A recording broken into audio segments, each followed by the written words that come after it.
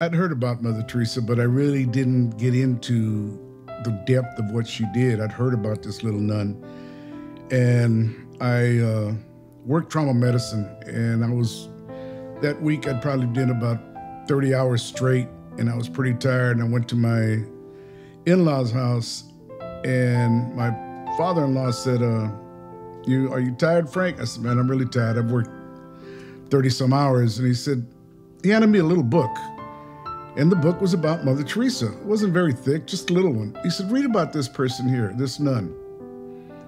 And uh, I did.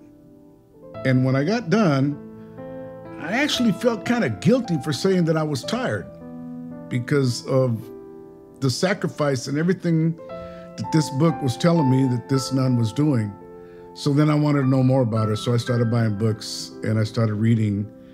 And she's really. Uh, one of the real reasons uh, I knew I could do my program, the Moral Values program.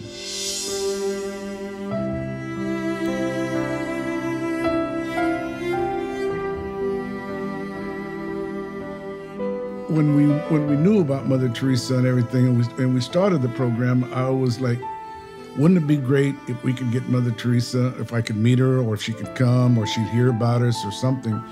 And one day we get a call from uh, a friend of mine, a Dr. Platt, and he says, There's a woman that's going to come to your house, and she's uh, wanted to know if she could bring you some medals and share some pictures because she has w- uh, worked with Mother Teresa.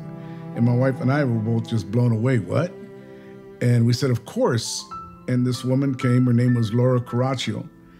And she'd worked actually with Mother in, uh, in Calcutta at the House of the Dying she showed us. She was there about an hour or so, and then and uh, she showed us and, and, my kids the pictures and everything else. And uh, that's how she she really came into being solid into our into our lives. And then we heard that uh, the sisters, Bishop Garcia, was going to be bringing the sisters to Sacramento, or he was involved in, in bringing them something like this. And we were kept reading about them in the paper, and uh, we were thinking, wow, wouldn't it be great if we could meet them? They could come, see what we do. But you know, we were in the hood, we were in the barrio, so it's never going to happen. And Bishop called me, and he said, uh, he said, Frank, are you going to be home? You and Monica? I said, yes. And that's all he said. And next thing you know, he shows up about 45 minutes later, an hour and my wife and I were both standing out on the porch, and we saw four doors open up, and then we saw the saris. And we knew that was Mother. Ch- we knew it was the nuns.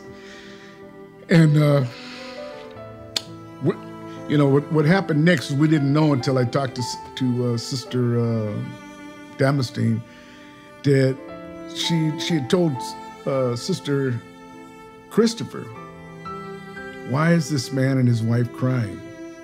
Because we just started, we broke down. I mean, we just started crying when we saw him coming.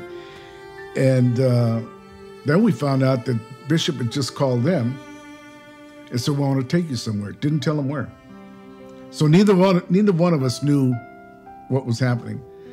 But uh, the sisters came in the house. We talked for about an hour. We, we gave them a tour of, of our grounds. And then Sister Damastine, she goes, I don't know how but we'd like to work with you and your kids.